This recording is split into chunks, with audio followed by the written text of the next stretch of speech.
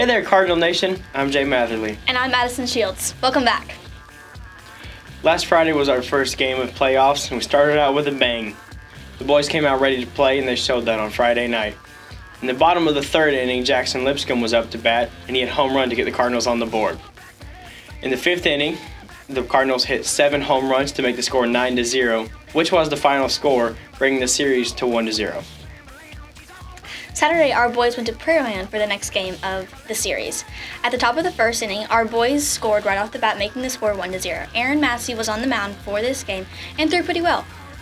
The Patriots threw their ace this game, so our boys' hitting went back and forth. The ending score ended up being 1 to 3, and the series was now tied 1 to 1.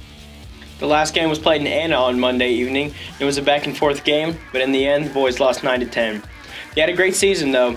Cardinals' ending record was 11 to 5 for the season. They got second overall in the district. We can't wait to see what they'll accomplish next year.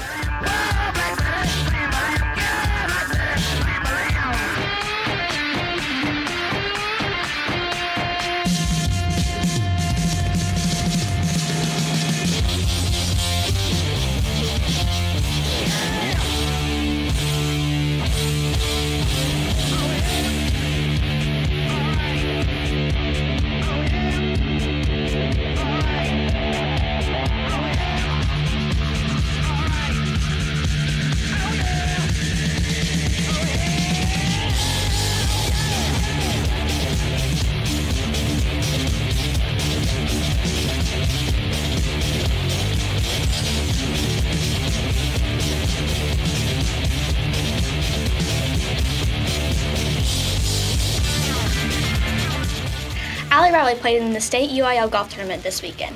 She came in second with a score of 155, and the girl in first came in with a score of 154, so it was a close game. Great job for her for placing at state in her whole season. Also, huge congrats to Jack Estes for placing fourth in the boys state UIL golf tournament and shooting a 153 for both days. Since this is our last episode for the year, we want to give some thank yous to Everyone who took film for us, Jacob Corley for his play by plays at the beginning of the year, all of the coaches for letting us onto the fields or courts to film. all of our editors here at Pottsboro for making our show come together, especially Cooper Cathy. And of course, Mr. V for publishing this and pushing us every week. That's all we have for you this year. And we'll see you next year.